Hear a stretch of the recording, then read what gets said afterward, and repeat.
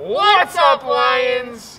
Hey, if you haven't gotten your senior photos for the yearbook yet, make sure to get those turned in by February 15th. The GSA classroom is still open, so look for the Google code to find out about when they're having meetings and scholarship opportunities. Registration for Family ID is still open for season two athletes. So if you're involved in swimming, cross country, soccer, volleyball, or football, make sure to register. Also, pick up all the materials you need for the second semester and drop off any you haven't returned yet from the first semester. Thank you. Hey, you, you there, do you need clothes? Well, guess what? We got a clothing closet right here in front of the school.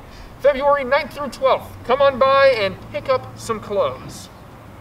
Also, we're going to have some opportunities for you to, over Unity Week to watch some videos from student council and from staff. So watch out for those where we're going to be awarding the Cottage Grove Advocacy Award, so make sure to stay tuned.